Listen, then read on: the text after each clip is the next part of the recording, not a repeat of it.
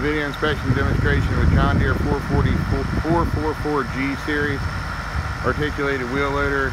Machine's got a little over 8,000 hours on it. It's in superb condition. It's not all painted up. It's just off the It's a municipality machine, well taken care of, full cab, heat, AC, has it all. Super nice.